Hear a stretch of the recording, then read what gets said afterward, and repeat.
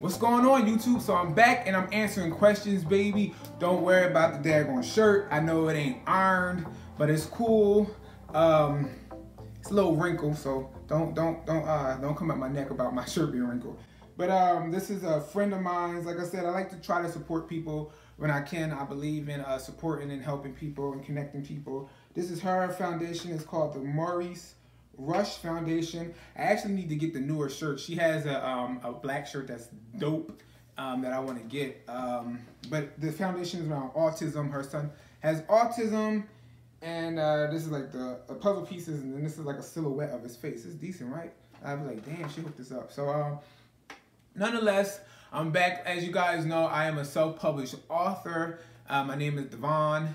And what I do, I, I've been I started self-publishing in around 2012. Like I said in my uh, journey to become a self-published author videos, if you haven't watched them, go over to my YouTube page, uh, subscribe, hit that notification bell if you like to uh, know when I upload. And uh, just yeah, subscribe to the channel and hopefully the videos that I'm making will help you out. Um, I know there's a lot of videos out here in the YouTube land around publishing, self-publishing because like I said, the, the industry started kind of booming and like I would say like the early like 2010 it kind of really started kind of starting to it was like fresh at the beginning with the self-publishing industry where a lot of people wasn't they weren't sorry they weren't they weren't doing it yet. However it kind of boomed now um, where a lot of people are doing it. So nonetheless I want to touch on a question today around the self-publishing industry that I that people ask me about. So this probably might be a long video. Well, probably won't be a long video because like I told you guys before, excuse me, on YouTube, if you don't um, if you don't have a lot of subscribers, you got to have at least over a certain amount of subscribers and viewership in order to make longer videos. And so all my videos that I'm making, they will be sliced uh, to go within that time frame that I have for, for YouTube. So uh, if you guys want me to make longer videos, remember all you got to do is subscribe and you have to watch, comment please, uh, because this will help me make longer videos that hopefully will help you guys in the end.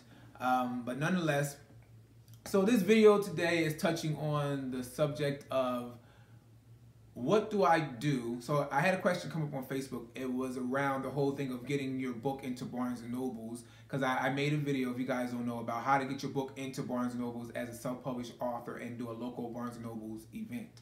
And so a young lady had actually put on the post she had asked the question like, how do I go about, you know what, matter of fact, let me read the question so I don't get it wrong.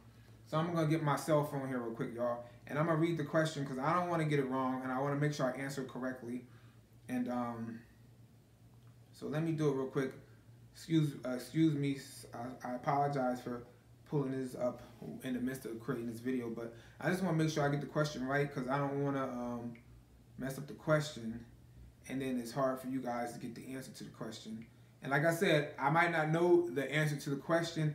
However, I can kind of lead you down that path to hopefully get the correct answer. So the whole thing about the videos that I make is to answer questions that I might know because I, I experienced it or to answer um, things that I know of or stuff like that that can kind of help you or assist you to make it happen. So uh, she had asked the question of or maybe she deleted the question. Maybe she might have deleted the question. Hold on. Sorry, y'all. I got to make sure I get the question. I want to make sure you get the question. She said, Gray. Uh, I think she might have deleted the question. Oh, wait. No, here it is. All right. It said, uh, I would like to know, I would like to know how can I get my book into Barnes and Noble since my book is published with a publisher. And so with that question, I, I basically wrote her back and I said, hey, and I put her name. I don't want to put her name on YouTube because I don't want to uh, put anyone on blast without their knowledge. But I said, uh, hey, reach out to your publisher. They should be able to speak more about that with you. And then I asked her, who do you currently use to publish your books?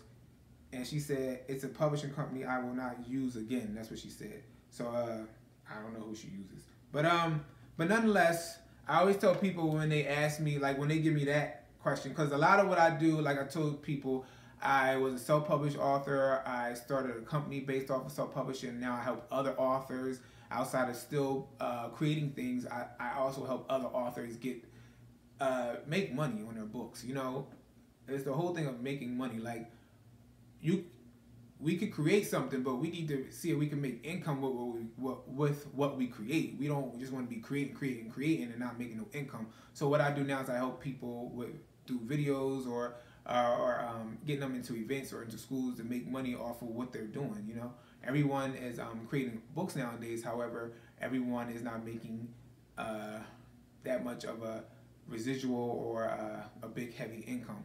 And, you know, I'm not saying that I personally uh, make a lot of money, and I'm not saying that I can personally make you a lot of money. However, I could, I can, what I do, I can add extra money into your pocket. So, nonetheless, with that question that she's asking me about, I, like I said, I wrote back to her. I said, like, who is your publisher? So I wanted her to, um, because every publisher, when you have a publisher, they work different. So you, if you if you go, so let me take it back. I'm gonna take you into different publishing companies, and then I'm actually gonna make a video outside, another video that you can uh, click on that's gonna talk about one of these publishing companies. Uh, I mean, one of these publishing ways. So I'm a, I'm just gonna break it down into three categories, right, for this question. I'm gonna break it down into self-publishing uh, slash independent. I'm gonna break it down into tr traditional publishing, and I'm gonna break it down into vanity publishing. So again, I'm not an expert in everything. This is just through my experience. So there might be other videos out there telling you guys other things, but um, this is all based off of my experience. So please don't beat me up when I say the things that I say because this is based off of my experience and my knowledge from what I've been through. So uh, we all have, like again, we all have different paths. We all go through through different things. So people know different information, and then you take from other people and you put it together and you create your own information. But uh, so self-publishing when it comes to getting your book into Barnes Nobles, uh, like again, I have a video that's called how to get your book into Barnes, how to do a Barnes Nobles event as a self-publishing author. Just go through my YouTube page, click on that that uh, video. It'll tell you how to do that. Um, but you could go through that, and if you have, uh, if you utilize Ingram Spark, you can go through the 55% trade. If you use um, KP KPD, uh, buy your ISBN number, buy your ISBN number buy your own ISBN number, uh, self-publish that way. It'll be POD. However, you become the publishing, your own publishing company. You can then buy your books, and then you can set up 60-40 uh, consignment deals at uh, Barnes & Nobles or local publishing or local uh, bookstores, and uh, and then they'll go from there. They'll let you know if they can do it, if they can't do it, um, but they should be able to do it. Um, but like I said, things shift as time goes by you have your vanity publishing that I'm actually going to make a separate video on vanity publishing. But uh, in the publishing world, you guys probably know this because there are a lot of forums and groups out there around vanity publishing. So vanity publishing is like the uh, companies like Exib, is it Xlibris? Exibris? I don't know. I always say their name wrong, but I think it's Exibris or Xlibris, or Xlibris, something like that. Um, vanity companies like companies like that, in which they they charge you to to do all the work and then they'll they'll they'll um they'll charge you to, to publish your book. They'll charge you with the editing with the illustrations with the writing. Um, they'll charge you with like a package deal. Like they'll have different packages set up. They'll say this is 13000 this is 14000 you pay in in increments on like a payment plan if you can't afford it up front they get that payment from you i believe every month. Like i don't know. I've never did vanity publishing but i do know of vanity publishing because I've worked with other authors who have uh, done vanity publishing. I don't particularly like vanity publishing, and I'll talk about another video more in depth, and, and I'll talk more in depth about vanity publishing in another video. I don't like it. Uh, the next, the another, the other category I said is traditional publishing. So what? Uh, so hold on, sorry. So let me go back to vanity publishing because the whole the whole question is about how do you get your books into the Barnes and Nobles if you went through a publisher. So I, am not sure, but I feel like this this lady might have went through a vanity publisher. Uh, she didn't get specific on the comment, but uh, with vanity publishing, you just have to call up that publishing company and you have to see what their rules are when it comes to uh, getting the book into Barnes Nobles. So I believe Xlibris, Xlibris, I'm saying the name wrong, don't beat me up. Um, and you guys can, can correct me in the comments below and or crack on me. I don't know.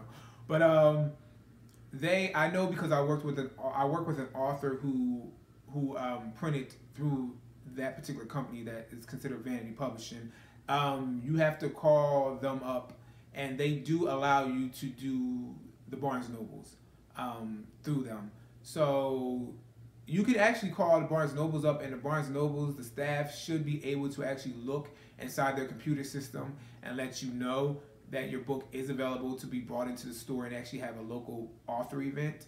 Um, if it can't, I would suggest you call that particular publishing company, uh, your independent publishing company, your vanity publishing company, and actually ask them how to go about that deal. Um, I know sometimes it's a fee that you got to pay them. I think to make sure they they change over which how your book how your book is available to different um, vendors or outlets. Um, don't quote me on that. I'm just like I said, everything is through my experience. I just know that when I was trying to get a young lady in before, she went through this particular company, which I'm talking about, Xlibris, Xlibris. I don't know how to say it, but um, and I had to. We called the Barnes and Noble to make sure she to try to get her into an event as a local author, and they said that she had it was a fee in which that company needed her to pay before she could make it happen as far as I guess like a printing fee or some type of fee that they wanted her to pay. I didn't get enough clarity off of it, so I don't want to sit here and tell you guys certain things that I didn't get enough clarity off of. Again, this is all based off of my experience and hopefully I can help you with this knowledge. But um we had she had to pay something. I don't know with them. Um, however, going forward, she's now now I got her in like all these Barnes and Nobles. She's doing an event like every month, so uh, she probably know who she is through this video. But nonetheless, that's that's a way in which you have to go to it. So if you're going through a vanity publishing, if you're going through uh, independent publishing company uh, or a publishing company that someone else has started up, um, you would contact that publisher and ask them if you first contact Barnes Nobles. If the Barnes Noble said you have to go, it's a fee or something about the publishing company, contact your publishing company and talk to them about that and see if they can make that happen uh, nine times out of ten, if you're going through a publishing company, they shouldn't be using po POD um, sites, which is print on demand. They shouldn't be using that. They should actually be using a printing source. Um, they might be outsourcing printing from China or from uh, Viet Vietnamese or maybe Africa or Canada or even they might even be printing within the states of America. But you want to talk to them, but they shouldn't be going through PODs. Um, but I don't know, like people are setting up all these vanity publishing companies and companies now. So I don't know how people are doing it. I don't know if they're just buying ISBN numbers and they're just going and, and creating publishing companies. I don't know.